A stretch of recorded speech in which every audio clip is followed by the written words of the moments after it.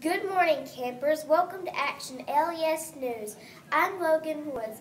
Congratulations to Mrs. Shepard's class and Mrs. Clunt's class for spelling letters. Please stand as we say our expectations and the pledge.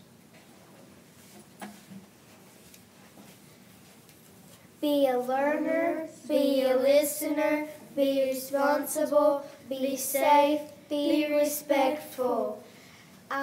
Pledge allegiance to the flag of the United States of America and to the republic for which it stands, one nation, under God, and indivisible, with liberty and justice for all.